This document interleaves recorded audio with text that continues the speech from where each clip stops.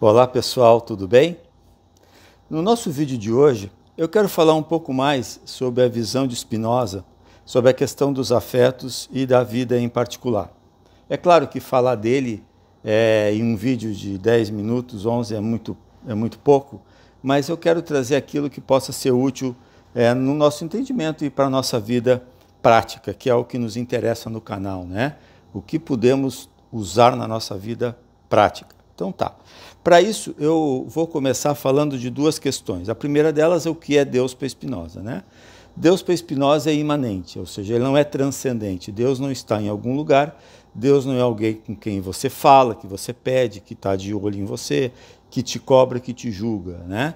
O Deus de Spinoza é a própria natureza, Deus é natureza. Então, tudo é, tudo que está vivo é Deus. Deus não está fora, Deus é tudo, né?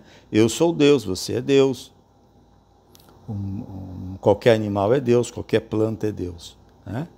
É, qual a diferença de nós para Deus? Deus é causa de si mesmo e é ilimitado, né? E infinito. Nós não. Nós somos finitos e toda a nossa busca é justamente é, buscarmos ser causa de nós mesmos. Normalmente somos levados por causas exteriores a nós. Né? Então, para ele, além desse aspecto do que é Deus, e só para falar do Deus nós precisaríamos aí uma boa quantidade de vídeos, mas isso já é suficiente. E depois que ele trabalha com a questão de dois afetos. Existem três afetos básicos para Spinoza. A alegria, que é, é um afeto que te dá vontade de viver mais né?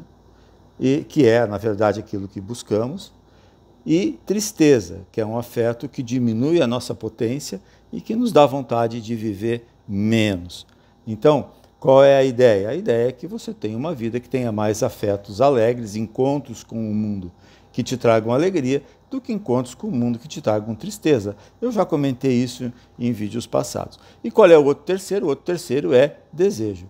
Spinoza diz: o homem é desejo. Né? E qual é o desejo do homem? O desejo do homem é buscar alegria sendo causa de si mesmo.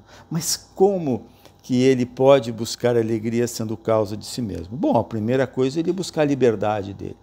Né? E a liberdade dele vem de onde? A liberdade vem do conhecimento. Né?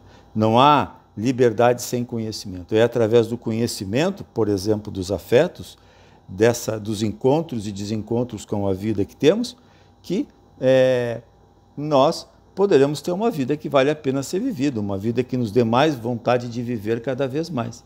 Né? Enquanto que o, se o conhecimento te gera essa ação, o que, que é ação? É você ser proativo. Então, eu tenho o conhecimento, o conhecimento me dá liberdade.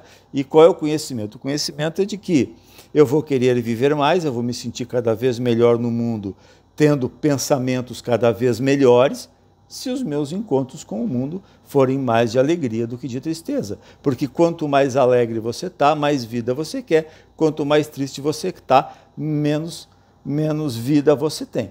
E sempre que você está, por exemplo, com alguma dor, seja ela de ordem emocional ou física, você pode ver, os teus pensamentos tendem a ser negativos. Né? Porque para Spinoza, o pensamento e o corpo, e a mente e o corpo é uma só coisa. É, são, são manifestações duplas, pensamento e corpo, de uma coisa só. Então, se você está triste, você só tem pensamentos tristes. Se você está alegre, você só tem pensamentos alegres.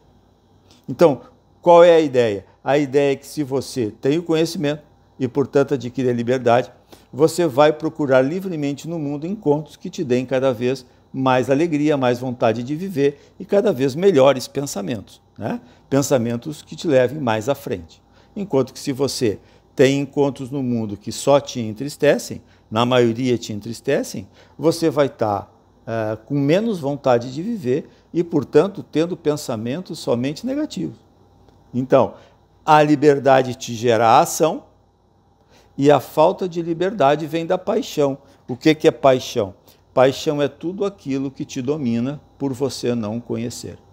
Então, sempre que Spinoza fala de paixão, é quando você é arrastado, é quando você é servo, quando você está é, dominado por uma situação da qual você não consegue se libertar. Você age negativamente porque você está sendo dominado negativamente. E por que, que você está sendo dominado negativamente? Porque você não tem o conhecimento que te libertaria disso. Tá? Agora, trazendo isso para a vida prática. É possível termos só encontros alegres com o mundo? Não. Por quê?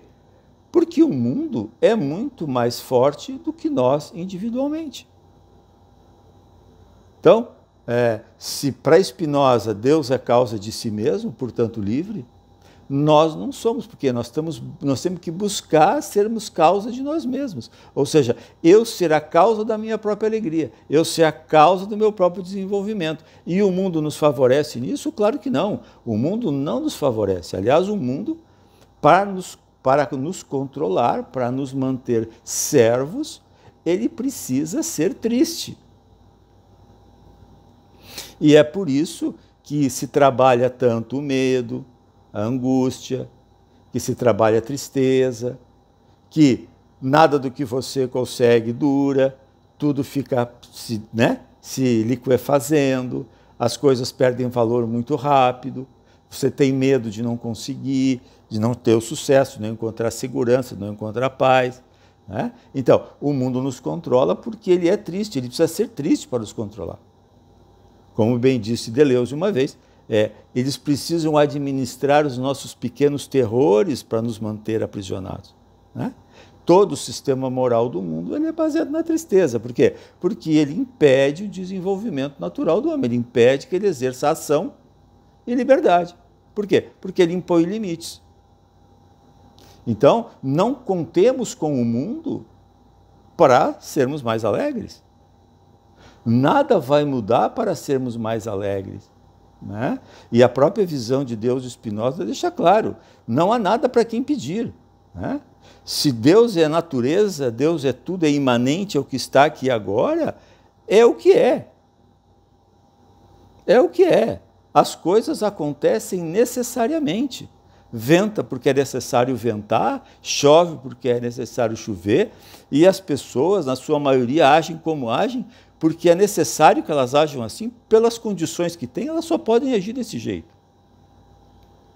Elas não podem agir do outro jeito.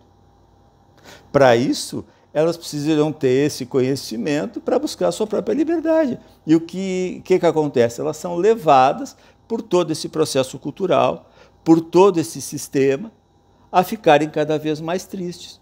Por isso que você vê cada vez mais o, o, o aumento de dependência de remédios é, psiquiátricos, o aumento do alcoolismo, do abuso de drogas, do excesso de alimentação e tudo mais. Né? Então, o que, que nos cabe? Spinoza diria, ele diria, na medida do possível, procure ser causa de si mesmo, entendendo como as coisas são, buscando encontros com o mundo que te alegrem, que te deem mais vontade de viver, que te deem, que te façam mais livre, porque por você conhecer mais e ser mais livres. Nós não desejamos outra coisa a não ser evoluirmos na nossa liberdade sendo causa de nós mesmos.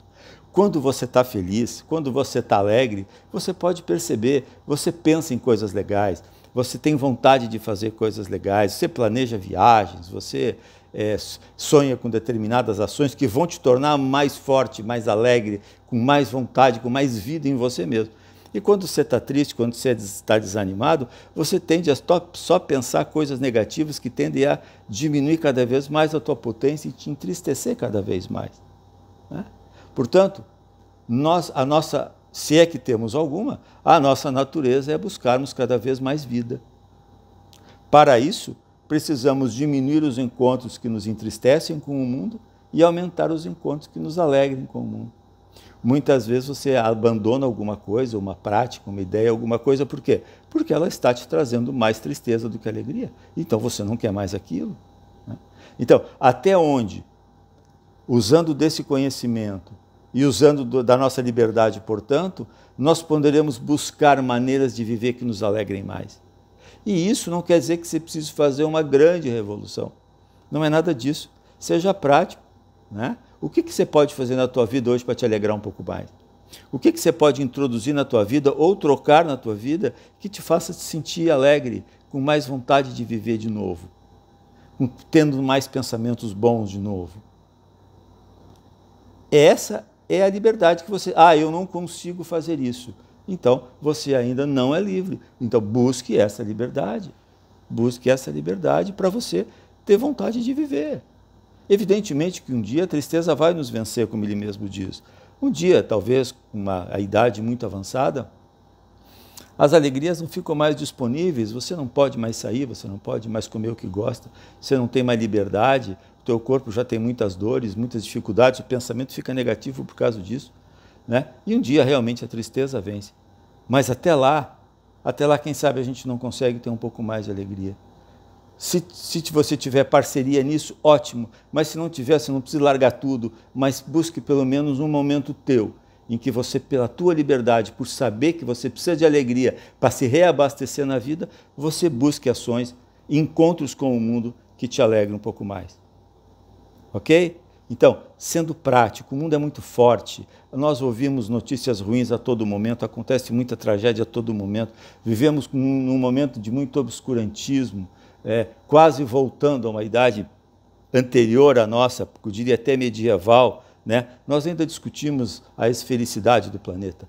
Né? Então, é, num momento como esse, de grande tristeza, em que os afetos são cada vez mais de tristeza e mais baixos, né? cabe a você individualmente ter mais ação e menos paixão.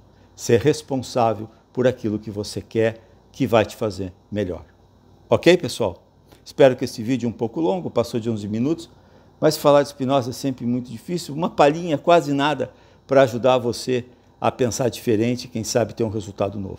Valeu? Obrigado pelo blog, por estar me acompanhando no blog, obrigado por estar aqui inscrito no canal dos vídeos, obrigado por compartilhar, por deixar seu comentário. Isso me dá alegria e me dá vontade de fazer cada vez mais. Valeu, pessoal? Um grande abraço e a gente se vê no próximo.